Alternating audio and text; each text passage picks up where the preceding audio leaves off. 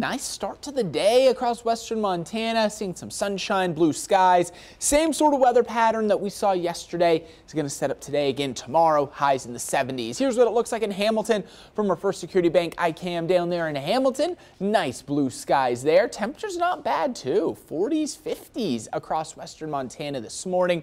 And again, we will see temperatures in the 70s as we get later on into the afternoon. On the radar here, clear skies now. We will see some cloud cover. Those start to increase by mid to late morning. You can see it beginning to increase just slightly here. So we are looking at sunshine now, maybe mostly to partly cloudy skies by mid morning. Then a lot of sunshine returns, we'll say by mid-afternoon for today. Warm spot will be Troy, sitting around 80 degrees this afternoon. Cool spot, Swan Lake at 68. Other than that, all other areas will see mostly in the 70s with a mix of sun and clouds overhead. 75 Thursday in Missoula, 80s Friday, showers by the weekend. Same thing for Kalispell, 70s through the end of the week, 60s to start next week in Hamilton, 75 Wednesday and Thursday.